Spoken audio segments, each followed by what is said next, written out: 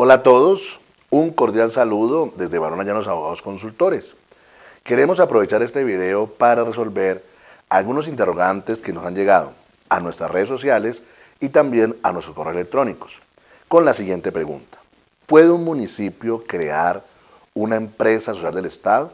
Es decir, ¿puede un municipio crear un hospital en dicho municipio? Entonces, para ese interrogante debemos tener en cuenta diferentes normas. En primer lugar, hablaremos de la Ley 100 de 1993. Y frente a esta ley podemos explicar lo siguiente. Primero, la Ley 100 de 1993 señaló que las empresas sociales del Estado son entidades descentralizadas, con autonomía administrativa y con autonomía financiera. ¿Esto quiere decir? Que estas empresas manejan su propio patrimonio y por tal razón deben ser viables desde el punto de vista administrativo, desde el punto de vista financiero y sobre todo, lo más importante, la adecuada atención de la población en cuanto al servicio de salud. En segundo lugar, debemos tener presente que las empresas del Estado tienen unos funcionarios, tienen un gerente, tienen una junta directiva y también tienen unos profesionales y trabajadores de la salud. Hablaremos de cada uno de ellos de manera muy general.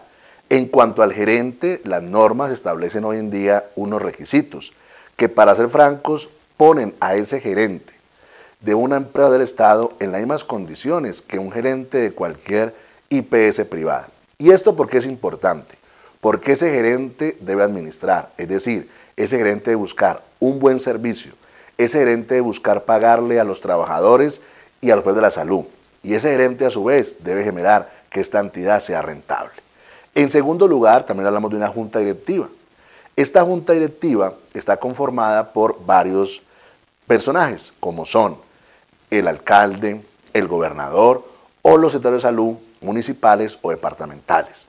También está conformado por dos miembros de los usuarios y también por dos miembros vinculados con el hospital. Esta junta directiva es muy importante, ¿por qué? porque puede establecer resoluciones y también puede controlar la actividad del gerente.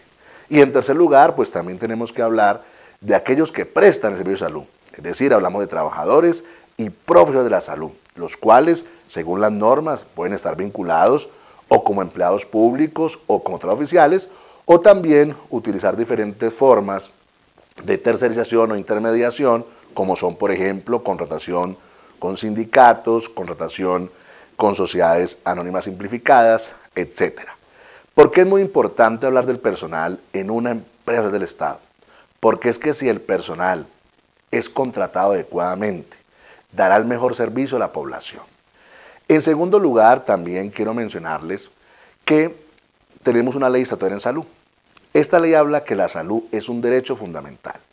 Por ese motivo es muy importante que los hospitales que sean creados por los municipios, teniendo en cuenta las características que ahora voy a mencionar, garanticen un servicio de salud de manera oportuna, de manera eficiente y sin dilaciones. Es decir, ¿qué sea lo ideal en un municipio que crea una empresa del Estado?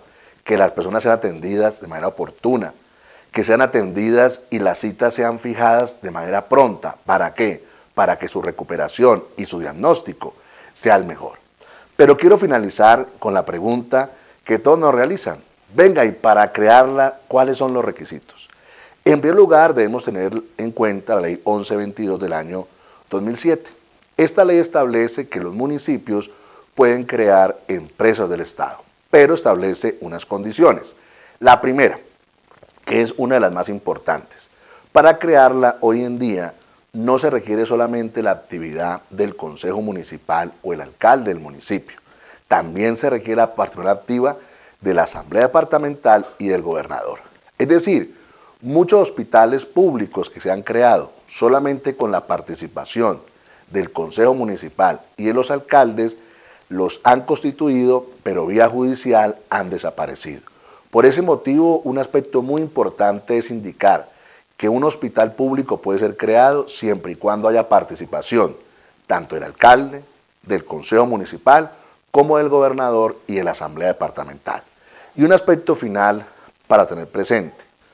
Los municipios que creen Estos hospitales pues también deben cumplir con unas características, deben tener una capacidad financiera, deben tener una capacidad administrativa, es decir, deben crear un hospital con todas las características de cualquier entidad privada.